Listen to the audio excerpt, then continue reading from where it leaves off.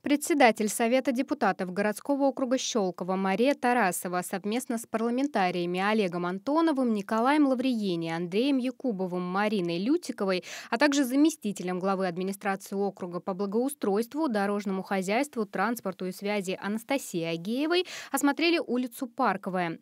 Там полностью обновлена велодорожка. Старая, состоящая из резинового покрытия, износилась и пришла в негодное состояние.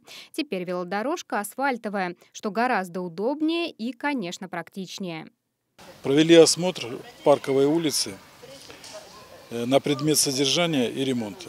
Проведена реконструкция велодорожки, заменили покрытие на асфальт цветной. Ведутся работы по замене тротуарной плитки.